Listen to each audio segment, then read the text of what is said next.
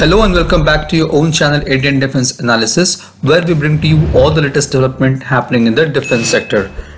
Finally, there are some new updates related to TED-BF program which is being designed and developed for Indian Navy.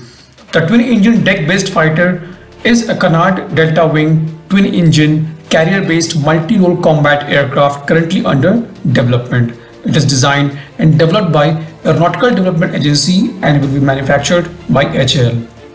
The first flight of this fighter is planned in the year 2026. Indian Navy is working closely with DRDO and ADA on this project.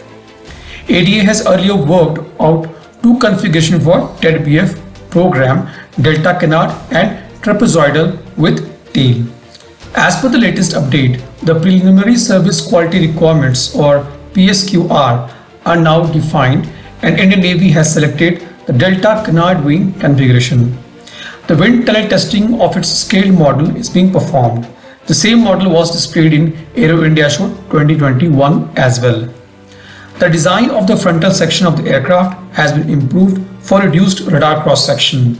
The canard wings will help in generating more lift for the aircraft while launching from aircraft carrier and perform aggressive maneuvering at lower speed and aid in landing on the aircraft carrier. The fighter will feature folding wing configuration which helps the aircraft to occupy less space in the confined hangar of the aircraft carrier thus reducing the footprint of aircraft when parked on the flight deck or inside the hangar. There are many systems which are yet to be developed. ADA, Navy and HAL are working in coordination for development of foldable wings and landing gear system.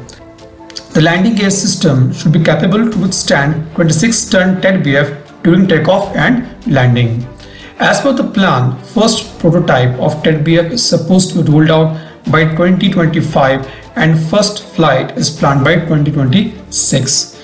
Initial trials will be done on shore-based test facility at Goa and the last phase trials will be conducted on the aircraft carrier. TED-BF will have short takeoff but arrested recovery stow bar type system.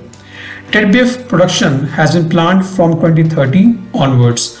The first batch of IOC configuration is planned to be rolled out from 2034. The TED-BF would host indigenous sensors and avionics which are already developed under the existing Tejas programs and which are under the advanced stage of development for Tejas Mk2 and AMCA programs.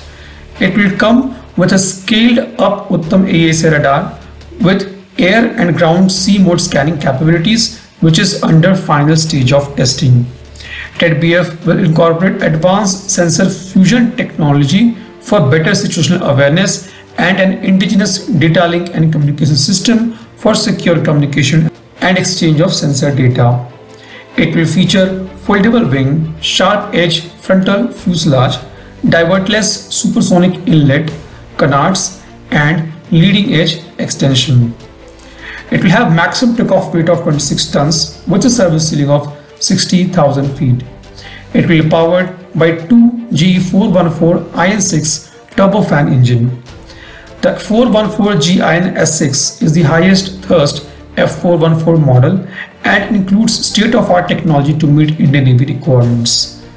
Technical advances includes a full authority digital electronic control FADEC and added single engine safety features. The engine can generate a thrust of more than 97.9 kilonewtons with afterburner.